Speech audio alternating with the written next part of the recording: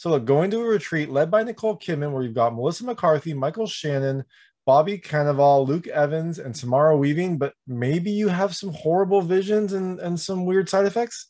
Probably worth it.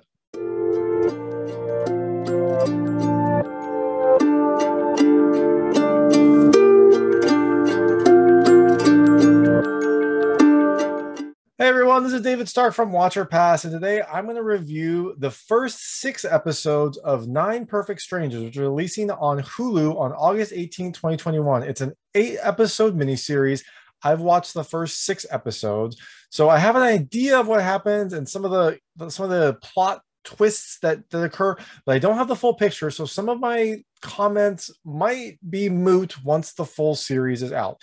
But I'm going to give you my impressions on the first six episodes and just kind of give you an idea of what you can expect from this film. Now, uh, Hulu has asked to not have any spoilers, so this will be a spoiler for your review. It's, it's a new thing. I know most of my reviews tend to have spoilers, but I'm going to try my best and not spoil it so you can enjoy the surprises. Nine Perfect Strangers, episode by episode. So, Nine Perfect Strangers involves nine strangers, uh, kind of strangers. They're not actually strangers. Like, some of the people are related, but nine people that go to this re- retreat led by this guru, uh, Masha, played by Nicole Kidman. She's this kind of Russian guru that is supposed to be able to kind of open your mind and enlighten you and have you go to places that you didn't, you know, expect to be able to go. Uh, and so these people all kind of come to her retreat for very different reasons.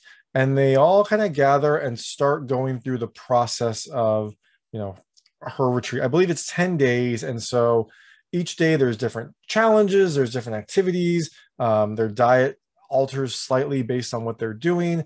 And they kind of start to get more in touch with themselves and their feelings. And you find out reasons why as the series goes along. There's a lot of surprises, there's a lot of, you know, things about the character's past that come up, things about Masha's past that come up, uh, interpersonal conflicts and things of that nature throughout. It's it's a very kind of dramatic, uh, emotional type of event, and it's it, it's a very it's a good it's a good series. You know, I'm enjoying it. I enjoyed the first six episodes. I, I wish I had the last two because I'd like to see how it ends, but I'm enjoying what I've seen so far. So.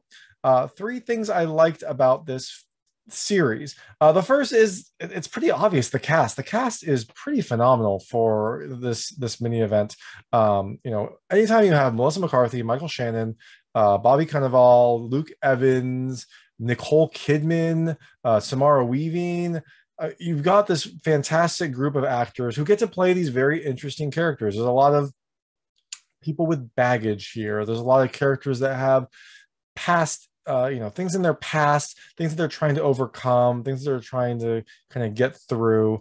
And so you get to see these characters kind of play these emotional sometimes wrecks sometimes not sometimes they're in denial. But you get to see these these actors play these really interesting kind of layered characters um, and you get to see them go through it right? You don't just get this broken character who refuses to admit what's going on like they kind of peel it back throughout the series as far as i can see. Like, you know in the first six episodes they do kind of peel back some of those layers and get into some of the reasons why they are they're guarded or they're embarrassed or you know they've had this thing in the past. And so that's really fun to see. It's it's fun to see these characters. It's it's interesting. It's kind of engaging. You get emotionally attached to the characters and some of their plights.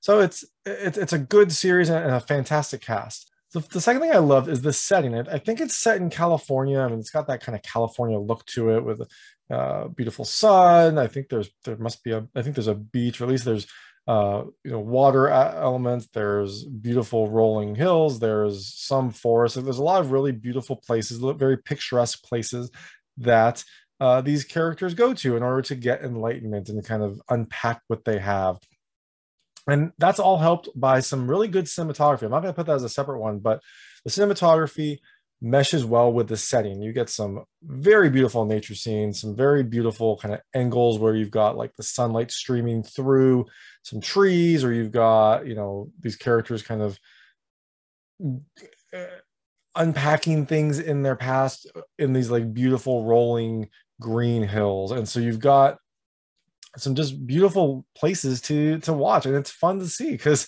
some people haven't been outside for a while and so this is a nice you know way to experience that Uh, and the last thing I really love is the mystery. I mean, this film, this series, I, I keep saying film, this series has a lot of mystery. Like, you know, the characters all, the first episode is pretty much the characters all coming together, and you don't really know much about them. And as the series has progressed, you learn a little bit more about them. You learn more about their past. You learn more about what they are, what they may be running from, or what they may be trying to kind of fix in themselves.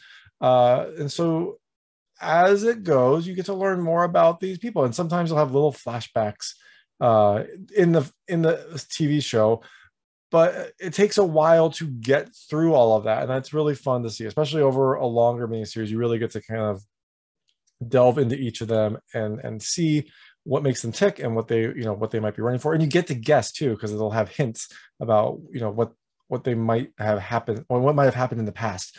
And so you get to kind of follow them along which is a lot of fun. And you get to and even it's not just limited to the characters right? Masha also and and her crew she has some i don't know disciples if you want to call them. I guess they're workers or they might be disciples uh that help her but they all everyone has something about them that is broken or something about them that they have to overcome. Uh, and e- even Masha, Masha has some stuff in her past that you get to kind of experience as the, the series progresses. So, things I didn't love. Uh, the first is the pace. I'll preface this. I usually watch films. I don't watch that many TV series. So maybe that's maybe this is true because you have a multi-episode event. Like you know, th- this series I think is what, six episodes, roughly 45 minutes each. So that's it's like one Lord of the Rings or four or three normal movies. So I mean, it's it's a lot more content, and that leads to a pace that kind of goes a little slower, I think. And that also could be maybe the genre. This is a little more dramatic. There's not as much action as I was expecting. There's a little bit of intrigue. There's a little bit of light horror elements, and there's a whole lot of drama and emotion. And so that leads to some of the episodes and some sections of the episodes feeling kind of slow, you know, because sometimes things just don't happen. Sometimes the characters are just relaxing, and sometimes you know they're not necessarily always having epiphanies, uh, and so the the series can slow down at least as far as I've seen. That maybe in the last two episodes it really picks up and it you know kind of barrels towards a conclusion. But uh, this is a slower series, and maybe you know it, it's probably good over the course of multiple days. I kind of binged it, so that probably also affected my criticism of the pace. Uh, the second thing I didn't love, uh, but again, this might be fixed in the last two episodes. Uh, this is about a guru, and they they pull hints of other gurus in the past. I mean, there's like a sweat lodge ish scene. There's some strange dietary scenes. There's some, uh, you know, opening your mind type situations but it just it doesn't feel like anything gets as extreme as they could have gone. Like some of these some of these activities that she that, that masha has them undertake could be a little more extreme than i think they are portrayed. And maybe that will be saved for the later episodes when they you know, when they're really kind of on the path of enlightenment. But so far it's been interesting. There have been revelations. There have been some emotion you know some very emotional scenes and some really good acting from the cast but nothing has been that extreme yet maybe that'll change, but it does feel like a little bit pulled back from what I was expecting in terms of a guru kind of really pushing her, you know, uh, disciples, uh, camp camp people, campmates. Uh, it, I expected a little bit more, and it has been a little bit more pedestrian than I was thinking. Um, and the last thing I don't you know love as much is the mystery uh, but that's kind of a double-edged sword because i think i think some of this will come out towards the end but in the at least in the first six episodes there's still a decent amount of mystery that they don't explain. There's some care you know there's some events that have happened that you don't get to you know you haven't, haven't learned about. There's some elements of all the characters past that i don't really know about. Um and it, it feels like at this point I, I have a good sense of the characters but i thought i would maybe know more and know more about kind of the overall conclusion of the series. Now there's still two episodes left, which is you know a full quarter of the series that I haven't watched.